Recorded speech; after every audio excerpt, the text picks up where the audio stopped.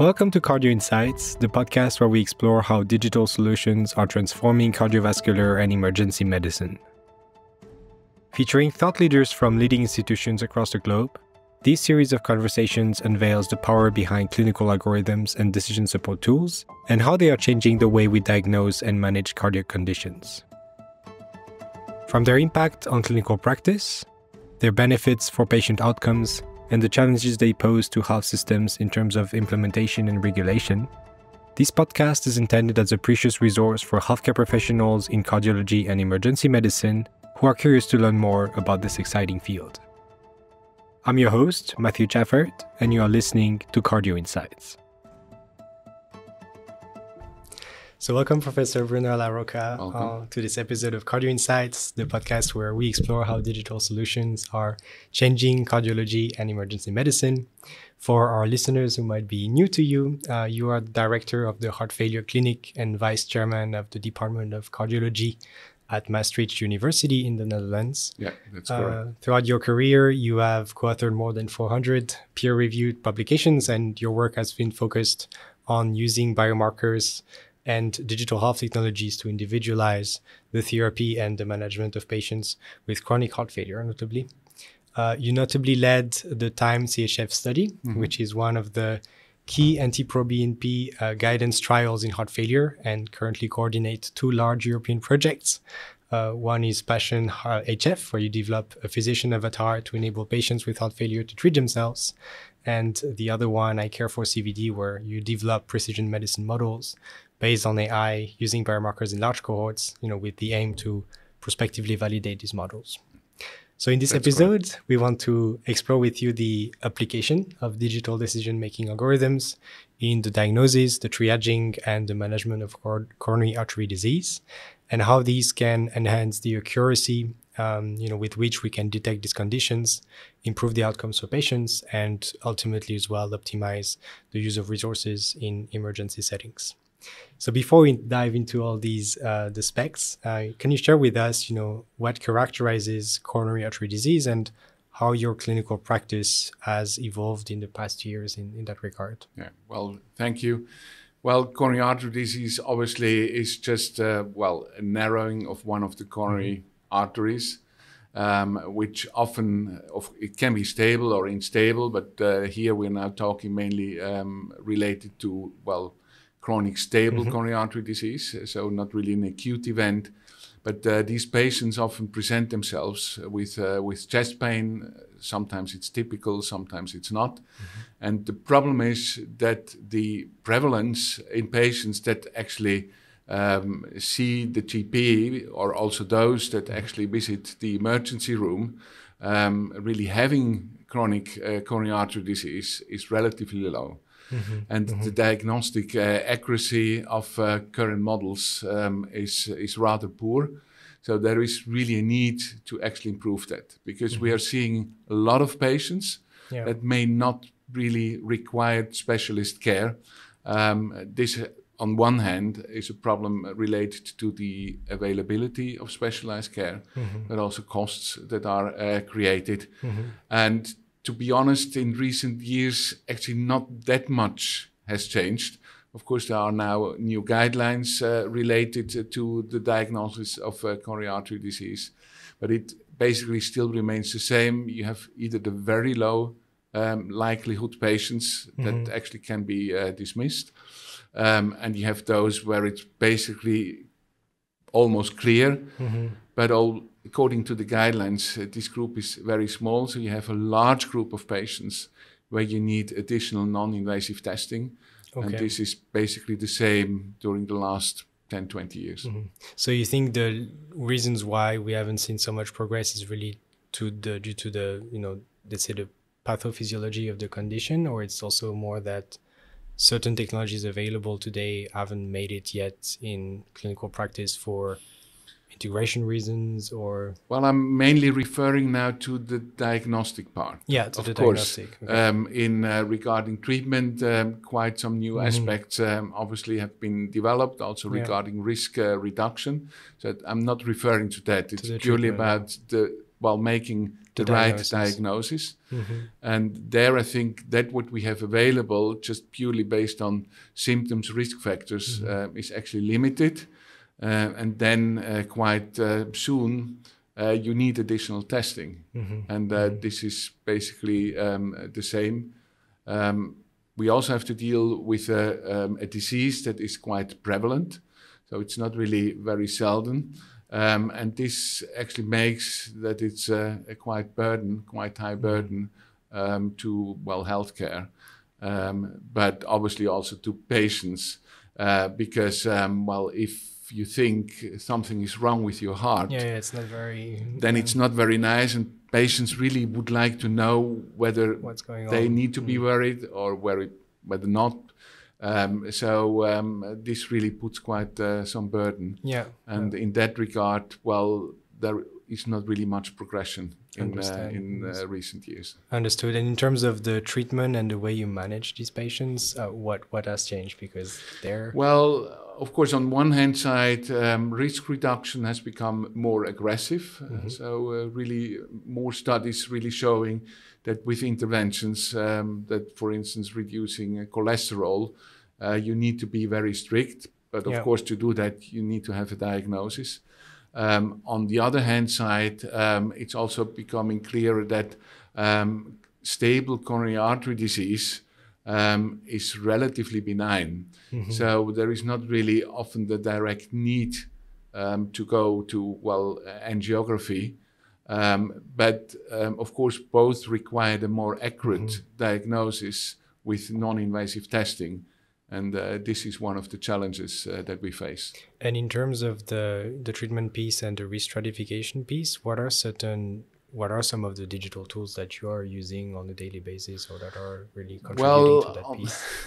on the daily basis um, is um, maybe not that much. I, I think in generally speaking, um, it's it's really and also according to the latest guidelines, it's really the assessment of a pre-test probability based on the type of symptoms, Yeah. um, sex, um, and age. Um, and then based on the pre-test probability, then either to do further non-invasive testing um, or exclude patients um, or to directly go uh, to, well, invasive testing. But um, according to the new guidelines, you never get to that point that you have to do directly invasive testing. And uh, in clinical practice, often patients are really in this intermediate group. So they undergo either CT scan, for instance, uh, stress echo, or MRI uh, stress uh, testing, actually as, uh, as further exams. And of course, this already requires some referral to, uh, to specialists. Yeah, and when we think about certain types of technologies, uh, you know, in digital health or using artificial intelligence, do you think there's a space at some point for Oh, yes. use in diagno- in the Yeah. diagnosis or in the management in discharge decisions? Well, there is in fact uh, a tool, and I'm uh, well just uh, talking about that uh, tomorrow in the presentation at uh, Procardio. It actually has been developed uh, based on a cohort um, with uh, some lab results, also some characteristics of patients. So in total, um, um, I think 22 um, variables. Um, to be able to predict the presence or absence of coronary artery disease quite accurately, accur- accurately, Accurately, um, without really the need of uh, of, uh, of imaging, so uh, that it can actually be done quite easily also in primary care or in patients that are being seen in an emergency room where acute coronary syndrome is excluded. Yeah. um, to know quite quickly whether these patients really need further exam or whether this patient actually can be uh, discharged, and uh, we basically to exclude the presence of coronary artery disease. Understood.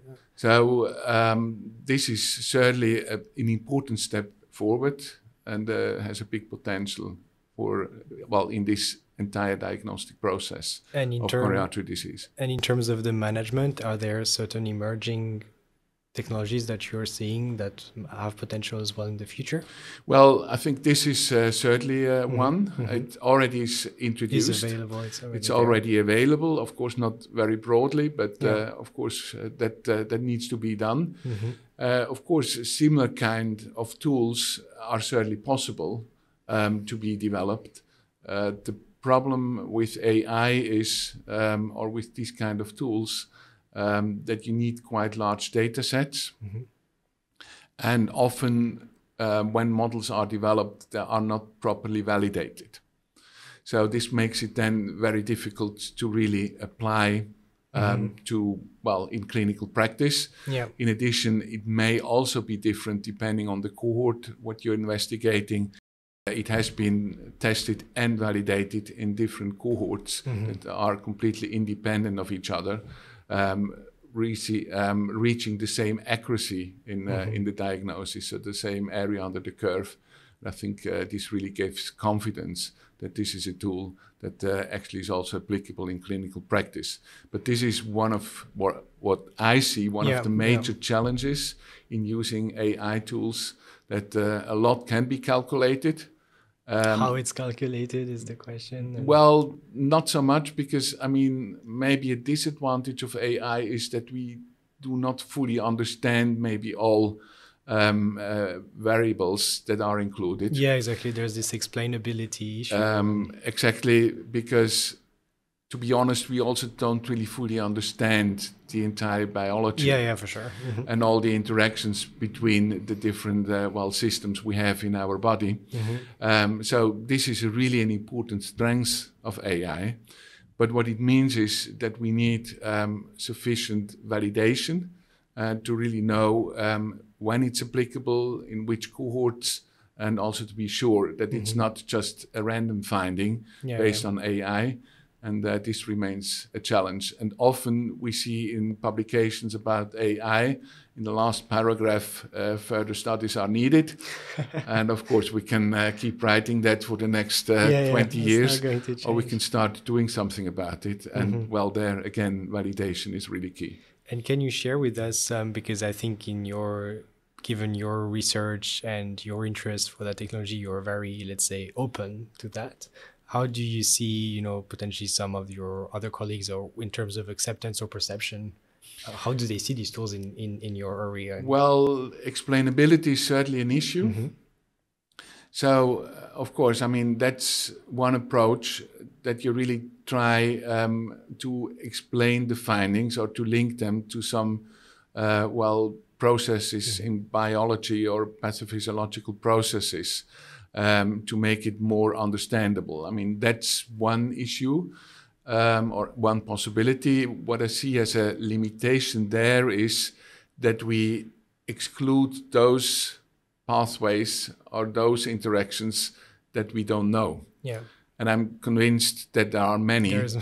um, that we don't really know, but they are still um, important. Mm-hmm, mm-hmm. Uh, so, to me, um, therefore, I think really, as mentioned, validation is uh, is key. Mm-hmm. Um, also to do prospective testing. That's also what we do in well, just one of the yeah. um, uh, projects that you that you mentioned.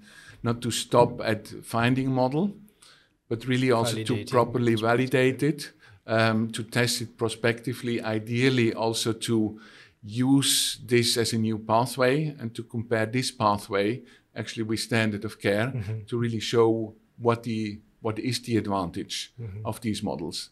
And I think there um, there is really the potential that then also well colleagues start to believe in it, because I mean if we are honest, quite a lot of things what we're doing in medicine. Um, is based on our experience, yeah, on empirical. experimental findings, um, and in that way, I mean, if we have to prove um, that something works, uh, then I think we're used to adapt it but we are very critical on just um, some theories yeah, yeah. Um, that are not properly proven. So I think this is really key uh, to be convincing. Understood. Um, you know, there's always a recurring question we ask every guest that you know we have the chance to interact with uh, on the show, and that's the following. So you know, if you imagine you had a magic wand, what type of digital solution would you like to have in your clinical practice that's not available uh, yet and that's let's say out of the scope then that what we've already talked about. Yeah. Um, well what i think we need we had talked about diagnosis. Yeah. But what i really also would like to know is who really need interventions and what type of interventions. Because um, in cardiovascular uh, disease and medicine we often apply a one size fits all approach. Mm-hmm, mm-hmm. Um, so, for instance, with hypertension, of course, we know that we need to treat hypertension, but really to know which drugs are really important for a for a patient, mm-hmm. uh, or who really needs very low blood pressures, uh, maybe even accepting some side effects.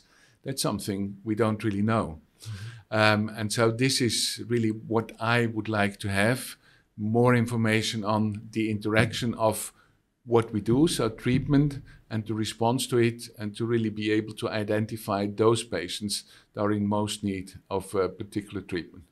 Understood. Thank you so much, Professor Brunner Pleasure. Thank you for listening to this episode of Cardio Insights. We hope you enjoyed it.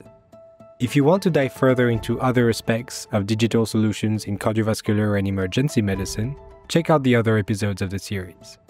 To support the show, you could share this episode with your surroundings and leave a five star review on your preferred streaming platform. Cardio Insights is a podcast brought to you by Roche. Thank you for your time and see you in the next one.